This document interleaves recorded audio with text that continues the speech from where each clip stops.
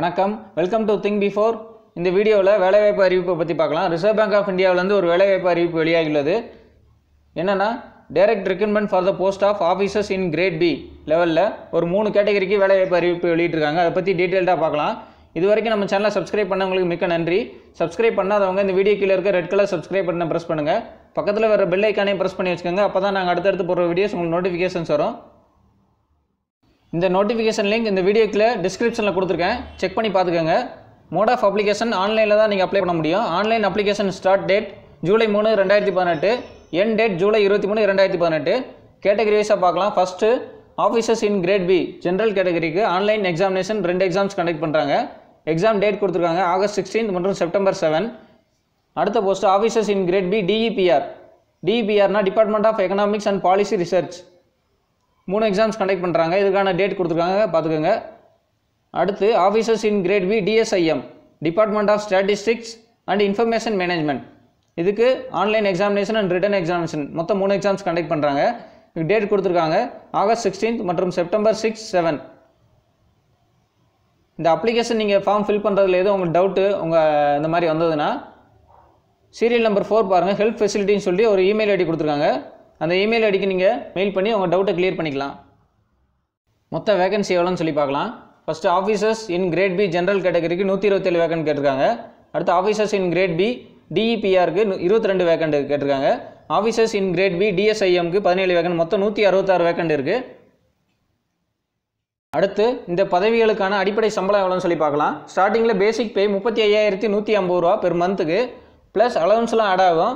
DA local allowance house rent allowance family allowance grade allowance எல்லாம் add ஆகி உங்களுக்கு ஸ்டார்டிங்கில் அப்ராக்சிமேட்லி ருபீஸ் எழுபத்தி ஐயாயிரத்தி எண்ணூற்றி முப்பத்தி ஒரு ரூபா கையில் கிடைக்குன்னு சொல்லி போட்டிருக்காங்க. இதற்கான வயது வரம்பை பற்றி பார்க்கலாம். ஜூலை ஒன்று ரெண்டாயிரத்தி பதினெட்டின் படி இருபத்தோரு வயது பூர்த்தி அடைந்திருக்க வேண்டும். முப்பது வயதை தாண்டியவராக இருக்கக்கூடாது.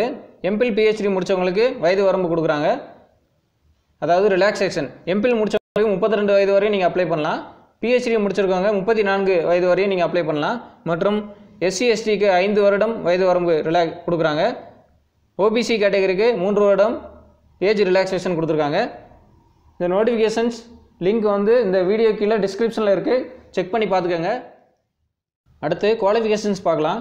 Officers in grade B general கேட்டகரிக்கு a minimum of sixty percentage of marks equivalent grade in bachelor degree as well as plus two and tenth standard examination complete பண்ணியிருக்கணும்னு சொல்லி போட்டிருக்காங்க.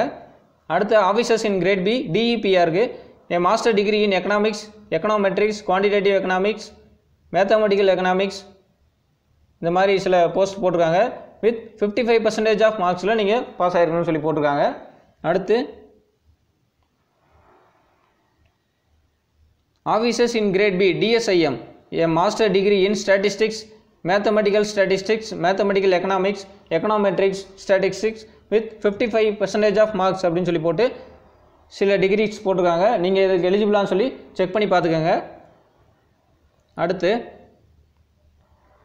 ஆன்லைன் எக்ஸாம்ஸ் வந்து மூணு எக்ஸாம்ஸ் கண்டக்ட் பண்ணுறாங்க first paper one online exams வந்து நம்ம சென் தமிழ்நாட்டை பொறுத்தளவில் சென்னை கோயம்புத்தூர் ஈரோடு மதுரை விருதுநகர் திண்டுக்கல் சேலம் நாமக்கல் திருச்சிராப்பள்ளி மற்றும் திருநெல்வேலி. அந்த சென்டர்ஸ்லாம் அலாட் பண்ணுறாங்க இந்த ப்ரிலிம்ஸ் நீங்கள் கிளியர் பண்ணிட்டீங்கன்னா பேப்பர் டூ மற்றும் பேப்பர் த்ரீ அதாவது paper two online exam paper three written எக்ஸாம்ஸாக கூட இருக்கலாம்.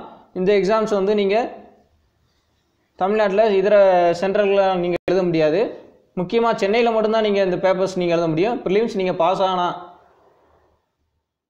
அப்ளிகேஷன் ஃபீஸ் எவ்வளோன்னு சொல்லி பார்க்கலாம். எஸ்சி எஸ்டி கேட்டகரிக்கு அப்ளிகேஷன் ஃபீஸ் நூறுரூபா. ஓபிசி மற்றும் ஜென்ரல் கேட்டகரிக்கு அப்ளிகேஷன் ஃபீஸ் எண்ணூற்றம்பது ரூபா. ஸ்டாஃப் கேட்டகரிக்கு அப்ளிகேஷன் ஃபீஸ் கிடையாது. ஹவு டு அப்ளை அப்படின்னு சொல்லி போட்டிருக்காங்க. அப்ளை பண்ணும்போது நீங்கள் என்னென்ன டாக்குமெண்ட்ஸ் தேவைப்படும் அப்படின்னு சொல்லி டீட்டெயில்டாக போட்டுப்பாங்க செக் பண்ணி பார்த்துக்கோங்க. அடுத்து லாஸ்ட் டேட் ஆஃப் அப்ளிகேஷன் இருபத்தி மூணு ஜூலை ரெண்டாயிரத்தி பதினெட்டு. நைட் பன்னெண்டு மணிக்குள்ளே அப்ளை பண்ணணும். இந்த வீடியோ உங்களுக்கு பிடிச்சிருந்தால் லைக் பண்ணுங்கள் கமெண்ட் பண்ணுங்கள் இந்த பயனுள்ள தகவலில் உங்கள் ஃப்ரெண்ட்ஸுக்கும் ஷேர் பண்ணுங்கள் மறக்காமல் சப்ஸ்கிரைப் பண்ணுங்கள் மீண்டும் அடுத்த வீடியோவில் சந்திக்கிறேன். நன்றி வணக்கம்.